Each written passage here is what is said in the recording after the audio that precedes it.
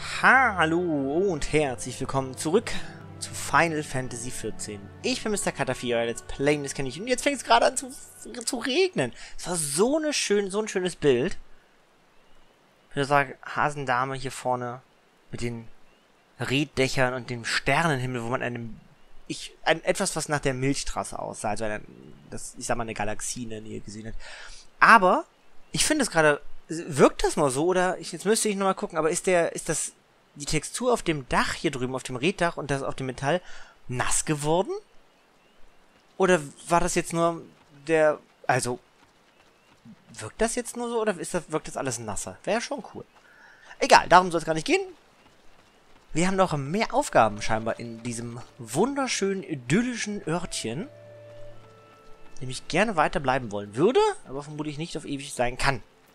Emeria. Macht sie sehr betrübt. Entschuldigung, bist du die Abenteurerin, die von Eatbird in den höchsten Tönen gelobt wird? Da möchte ich dich gerne um Hilfe bitten. In letzter Zeit erhalte ich ständig Geschenke. Haarschmuck, Taschen und solche Dinge. Das wäre alles kein Grund, sich zu beklagen, aber irgendwie hatte ich von Anfang an ein mulmiges Gefühl bei der Sache. Also habe ich mich umgehört und zu meinem Schreck herausgefunden, dass es sich bei den Geschenken um Diebesgut des stadtbekannten Räubers Ailbird handelt. Doch ich kenne diesen Albert nur vom Hörensagen und weiß beim besten Willen nicht, was er mit mir zu schaffen hat.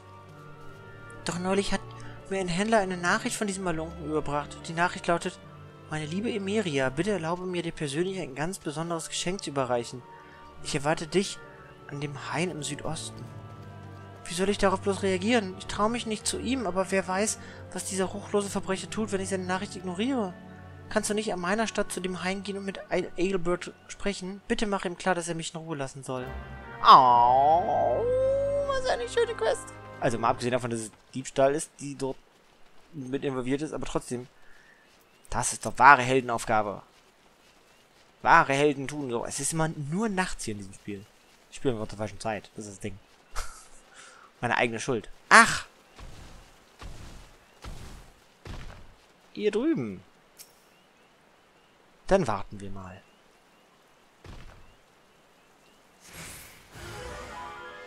Hallo, bist du Egelbert? Du aufbrausender Wegelagerer? Nimm Stein. Tot. So. Elberg eine Lektion ähm, erteilt. Ja. Und da verschwindet seine Leiche. Ich habe einen Brief bekommen? Kann ich ihn lesen vorher, bevor ich hier irgendwas mache? Warte mal. Oh, ich kann ihn nicht benutzen. Ich möchte ihn gerne lesen. Bestimmt was jetzt war es falsch, dass ich ihn angegriffen habe. Naja. Er hat mich angegriffen, um genau zu sein.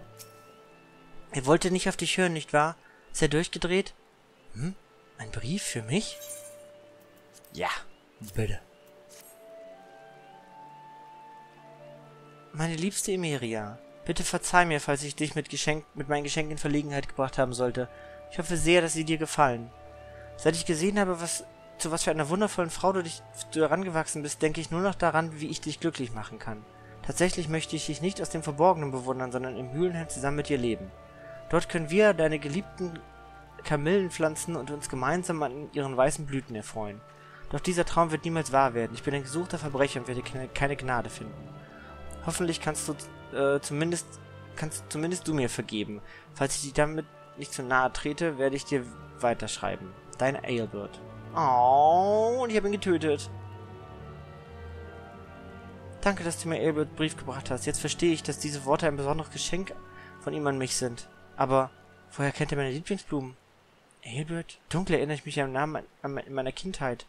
Doch, nein, das kann nicht sein. Auf jeden Fall müssen wir seine geklauten Geschenke an die rechtmäßigen Besitzer zurückgeben. Vielleicht werden Elbets Sünden dadurch etwas leichter wiegen. Tust du mir den Gefallen und richtest das Miaune in Gridania aus? Bei ihrem Hexenstübchen kommt früher oder später jeder vorbei und sie weiß sicher Rat. Natürlich. Oh Gott, wir haben ihn jetzt umgebracht. Upsi. So, Herr Chocobo-Verleiher. Haben Sie zufällig, ich könnte mich teleportieren, ich weiß, aber haben Sie zufällig ein Chocobo, was nach Gridania geht. 15 Kill. Ja, gib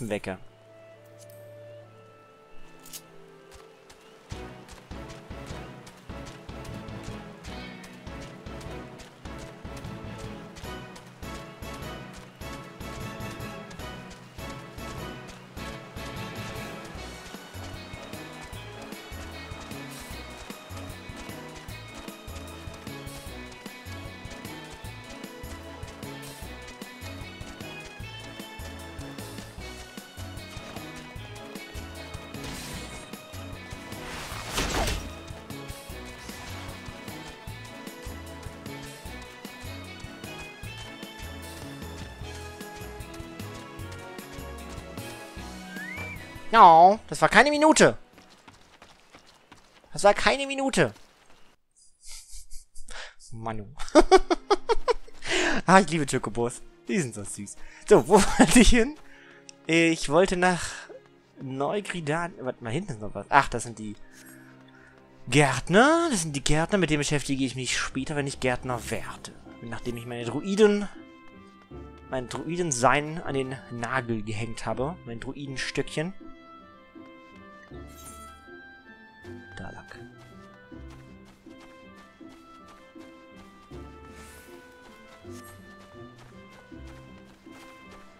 Oh, wir sind sogar zweimal zum Miauen. Das passt ja perfekt. Hui. Hatte da einer gerade Cloud als, als Begleiter? Also ich meine, wenn das, wenn Squall wäre oder, oder Renoir, wäre ich ja sofort dabei, aber Cloud? Aber schön, dass das geht. Das ist wieder genau das, was ich meinte mit der Musik in den Häusern.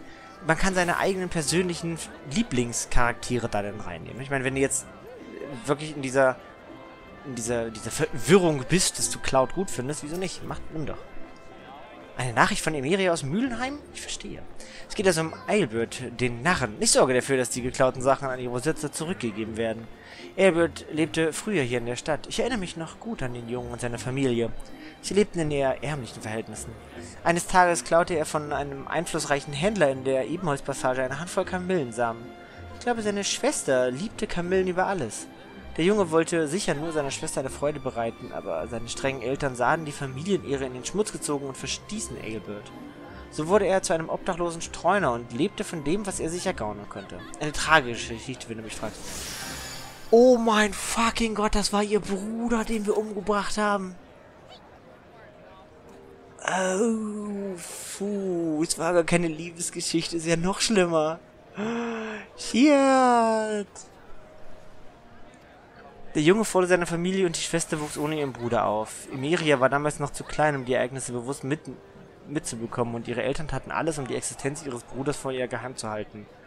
Das wäre in Gredania natürlich schwierig gewesen, denn das Gerede über den Vorfall in Gredania war groß. Deshalb zogen die Eltern mit ihrer Tochter nach Mühlenhain, um einen Neuanfang zu wagen. Sicher sind auch Emilia die Gerüchte zu Ohren gekommen, doch ein braves Mädchen wie sie stellt niemals ihre Eltern in Frage und ihre Erinnerungen an ihren Bruder waren verblasst.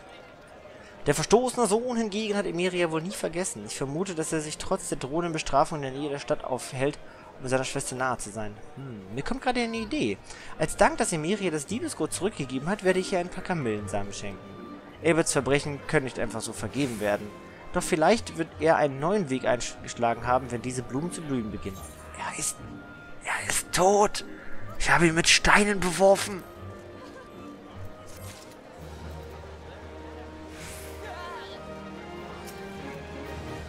Ah, Bienbar. Ich habe ofenfrische Aalpastete. Wie wär's? Oh, Kane E. hat dich geschickt. Zu, hat dich zum... Kane E. hat dich zum Fest... Kana E. Kan, E. hat dich zum Fest der Hohen Buntweihe eingeladen. Wie schön. Du sollst die Hauptrolle spielen? Das ist doch nicht dein Ernst. So eifrig du auch bist, das ist doch wohl viel zu viel der Ehre. Mit der Hohen Buntweihe soll unsere Verbindung mit den Gebietern des Waldes gestärkt und erneuert werden. Das ist eine der bedeutendsten Zeremonien überhaupt. Ja, mach mir noch mehr Mut. Du musst dabei die Brücke zwischen den Gridanien und den Gebietern bilden. Dankeschön. Du, obwohl du nicht von hier bist. Ja, du bist on point. Oder womöglich gerade, weil du eine unbefangene Außenstehende bist. Jedenfalls musst du rasch die nötigen Vorbereitungen treffen. Lauf in die Zimmerergilde und frag nach dem Gildenmeister Beaten. Beaten. Beaten. Er wird dir etwas geben, was du für das Fest unbedingt brauchst. Komm dann wieder zu mir zurück und ich erkläre dir, was es damit auf sich hat. Okay. Auf nach Beaten. Wo ist die Zimmerergilde? Da hinten. Auf der anderen Seite dieses Gebiets. Miau. Oder? Ja. Da kann ich noch nicht hin, ne? Warte, ich, mal, ich weiß es nicht. Ich will mal einfach ganz kurz... Ja, Stufe 60, okay. Dann muss ich mir noch keinen Sorgen, kein, kein Sorgen machen. Zimmerergilde. Was ist das hier drinnen? Ist das auch hier, hier hinten gewesen? Ja, guck mal, da ist Beaten.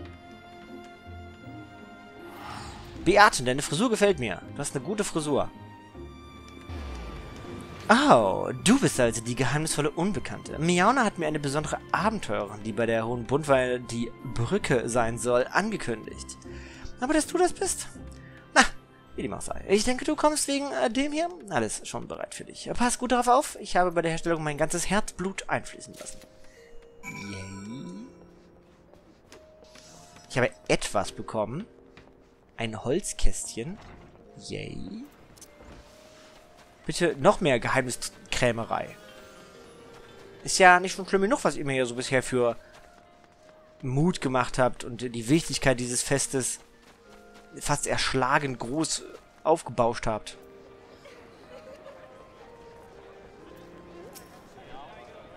Ah, du hast es bekommen. Ausgezeichnet. Dann zeig mal her. Hier, nimm eine verschlossene Holzschatulle. Mit dem Geheimnis. Hast du schnell einen Blick hineingeworfen? Nein. Das Kistchen enthält eine Monoa-Maske. Das ist eine Ritualmaske, die aus einem ganz besonderen Material besteht. Aus Rinde, die behutsam vom Wächterbaum abgeschält wurde. Vom Wächterbaum? Stell dir das vor! Ich kann dir jetzt nicht alles dazu erklären, aber du bist immerhin ausgestattet. Sag Bescheid, wenn du bereit bist, zum Fester zu gehen. Wie? Eine Monoa-Maske. Der Name dieser hölzernen Kultmaske bedeutet ruhig auf der Erde sitzen und sprechend. Das ist also ruhig hm, auf der Erde sitzen, klar, sprechen. das ruhig ist das Problem. Yay, Fangstufe aufgestiegen, Stufe 19.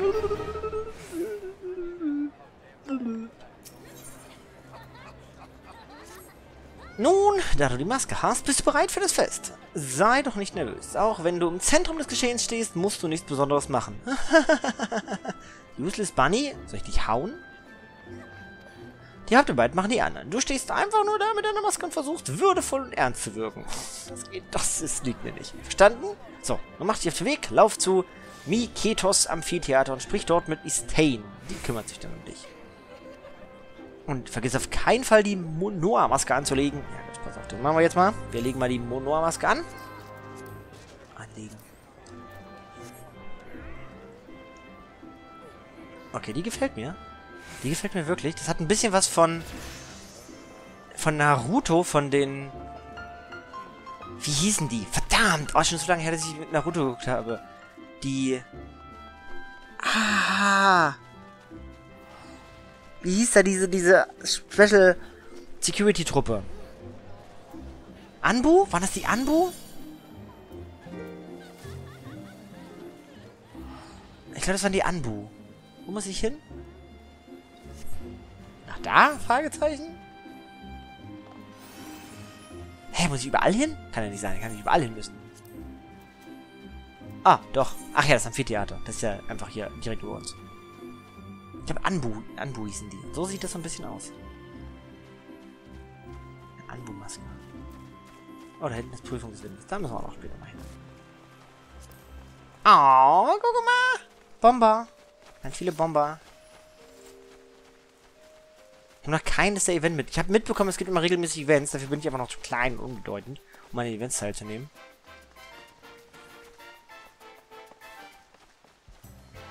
Da ist nämlich gerade Feuer Feuermondreigen geht gerade ab. Ich kann ja mal gucken, was das ist. Vielleicht kann ich da mitmachen. Es äh, gibt ja, kenne ich auch von Neverwinter und anderen und auch äh, ESO und ähnliches, dass das immer Level beschränkt ist. Du bist die Abenteurerin, die heute die Hauptrolle übernimmt? Oh, wie aufregend. Alle Augen werden auf dich gerichtet sein. Alles ist bereit. Komm. Yay. Freude.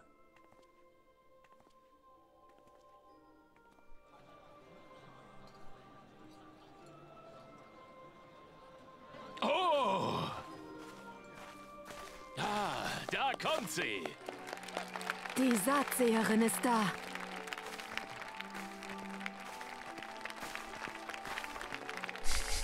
Ach, die beiden sind da. Das ist ganz schön. Jetzt sieht man schon mal nochmal alle... Oh, guck mal. Okay. Alle NPCs so nach und nach, die man jetzt kennengelernt hat. Werden da eingebaut scheinbar. Das ist schön.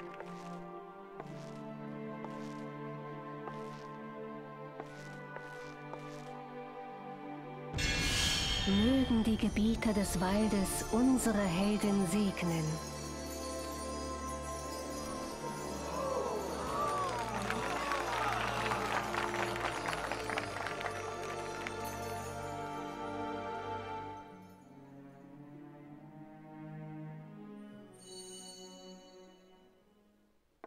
Was ist das für ein Glanz? Das ist ähm, ein altes Familienerbstück. Das ähm, ist nichts Besonderes.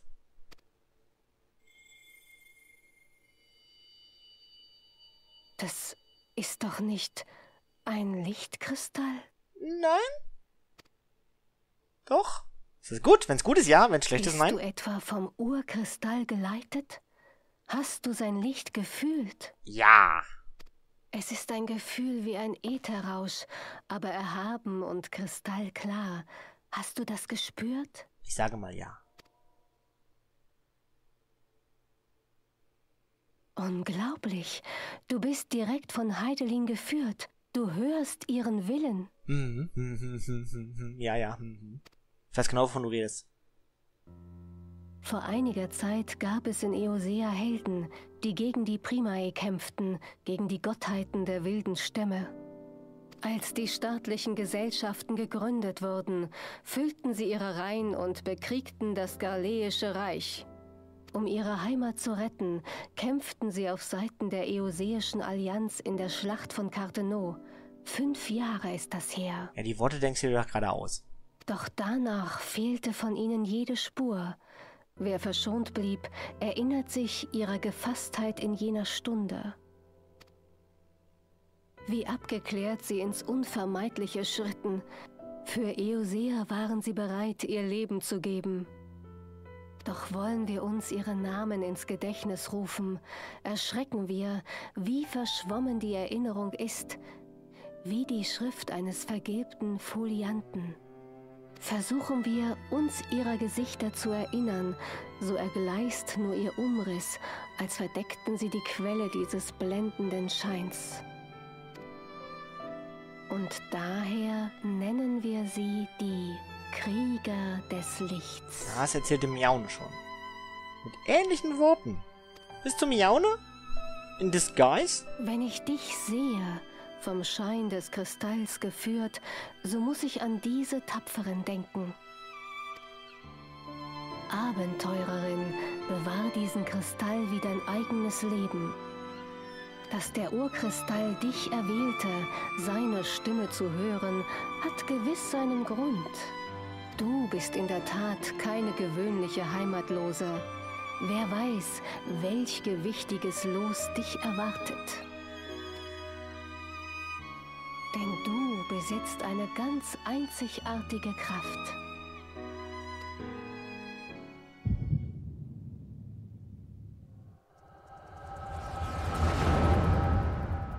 Okay. Einzigartige Kraft. Ich hoffe, um mich herum liegen gleich keine Leichen. Und ich habe Blut an den Pfoten.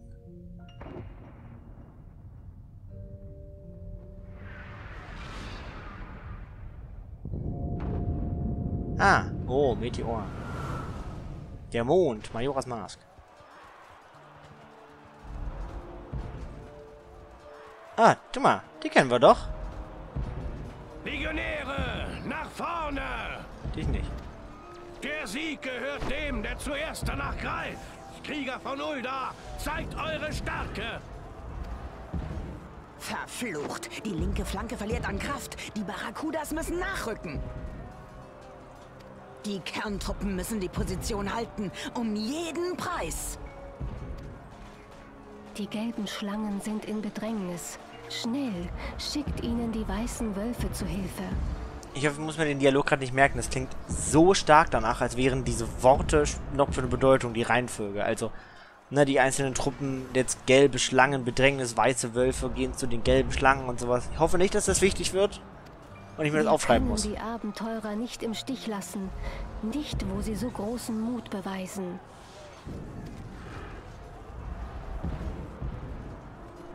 Wer ist das da hinten?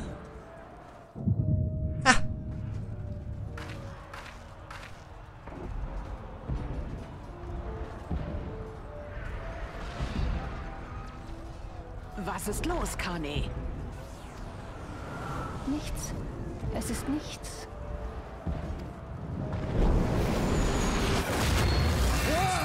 Verdammt! Nicht nachlassen! Von einem lauen Lüftchen wie diesem werden wir nicht weichen.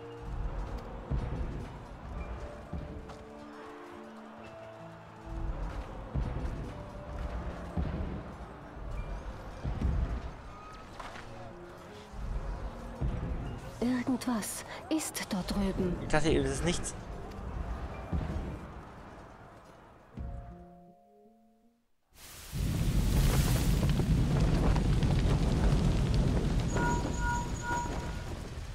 Telefon. Raubahn an die Blutgeschworenen! Was ist da los? Antwortet! Hey, gerne ein Handy.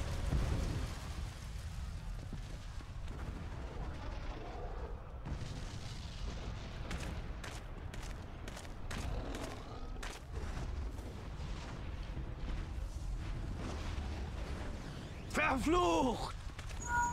Raumann, bitte um Antwort! Hier ist Jakey Ryder von den Blutgeschworenen! Jackies? Verdammt, was ist los? Was passiert da? Uah, was ist das? Wir müssen weg von hier, aber es gibt keinen Ausweg. Uch, verdammt, Clovis-War! Clovis-War brennt! Jackies, melde dich! Jackies! General Raumann, hier geht nichts mehr! Wir müssen weg! Die Flammen sind überall!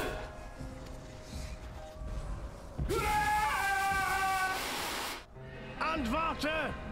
Jackies! Clovisoir!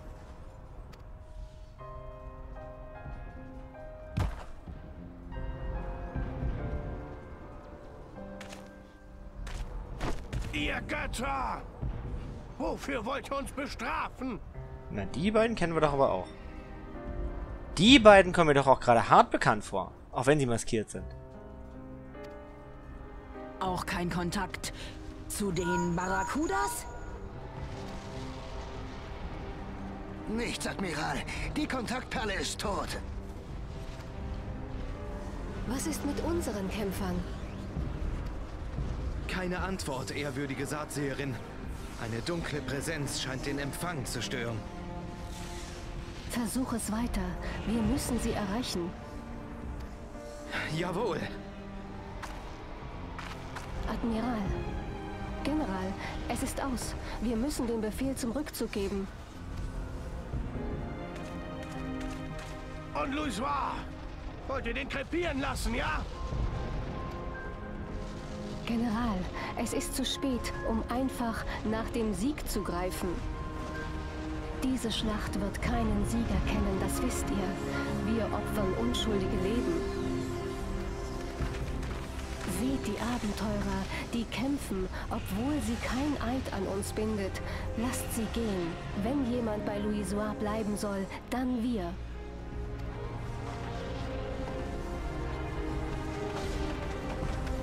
Befehl an alle Einheiten des Malstroms. Sofortiger Rückzug.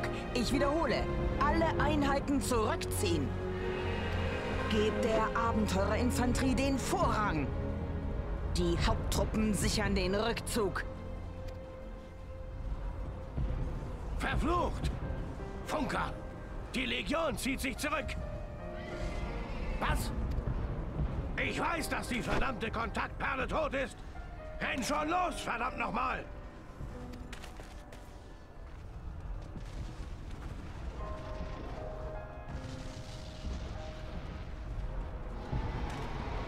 Das ist kein Gefecht gegen die Gallier mehr.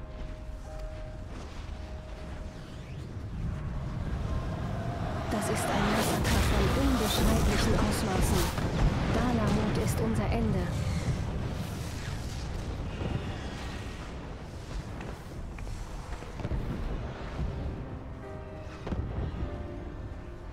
Dieser abscheuliche, grenzenlose Hass.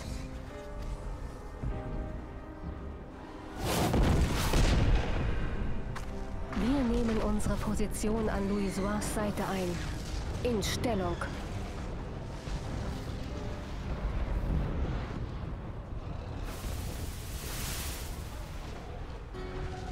Kaspar Hamul, Surini Sidon Sul.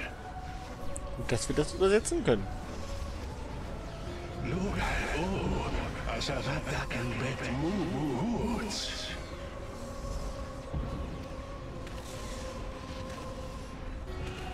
Niemand weh, Kishkat Trogahati Vatadons. Sie es Niger, Distanzion Lilamriit Zadaido Oon.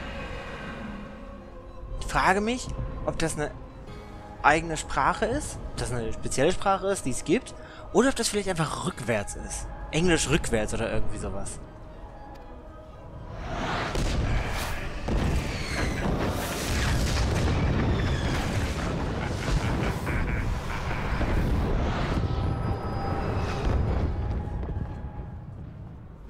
Ich hoffe, das war nicht die Zukunft, die wir gerade gesehen haben.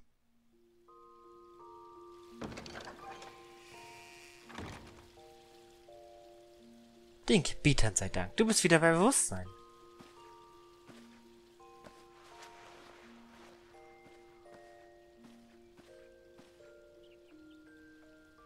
Deinem verdutzten Blick nachzuurteilen, weißt du nicht, was passiert ist, hm? Du bist mitten während der Zeremonie einfach zusammengebrochen, was uns einen ganz schönen Schock versetzt hat. Danach haben wir dich schnell hierher gebracht, damit du dich erholen kannst. Nach allem, was du in den letzten Tagen geleistet und erlebt hast, warst du wahrscheinlich ziemlich erschöpft. Die Aufregung hat dir dann den Rest gegeben. Ja, oder ähnliches. Aber du bist ein zähes Mädchen und wirst schnell wieder auf den Beinen sein. Ich stehe, wie du vielleicht siehst. Ich muss mir wieder um meine Pflichten widmen. Also bis bald. Halt, ich hab da was. Ach ja, beinahe hatte ich's vergessen. Kanesena wünscht dich zu sehen, sobald es dir wieder besser geht. Sei doch so gut und melde dich bei ihr am Wasserrosentisch. Sie macht sich furchtbare Sorgen um dein Wohlbefinden. Ja, es gibt da düstere Vorahnungen. Ich habe das ohne gute Gefühl, dass es Vorahnungen ist. Auch wenn man sagen müsste, dass der Dude, der bei dem Bösewicht stand, der auf Englisch rückwärts geredet hat, so aussah wie der, den wir im Wächterbaum besiegt haben. Allerdings könnte es auch einfach eine, die, die, die Uniformmaske sein, die seine äh, Untertanen tragen und jeder so einen trägt, weil es, sonst erkennst du ja die nichts anderes. Gut, wir haben fa fantastisch an dem Hundenfest mitgemacht. Das war, hui, das war, bestimmt haben sich da die Wächter gefreut und für mehr Frieden gesorgt. Vielen Dank fürs Zuschauen. Oh, die Maske ist schon cool. Die lasse ich, glaube ich, an. Vielen Dank fürs Zuschauen. Ich hoffe, es hat euch gefallen. Euer Kaninchen. Tschüss. Hat dir das Video gefallen und du willst mehr sehen? Werde ein Aboninchen. Bist du schon eines? So lass doch eine Pfote nach oben da. Danke.